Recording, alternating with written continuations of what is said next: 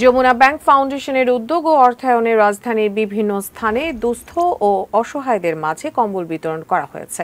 Jamuna bank limited ও Jamuna bank ফাউন্ডেশনের chairman নূর মোহাম্মদ মঙ্গলবার সারা রাত শীতার্তদের মাঝে কম্বল বিতরণ করেন।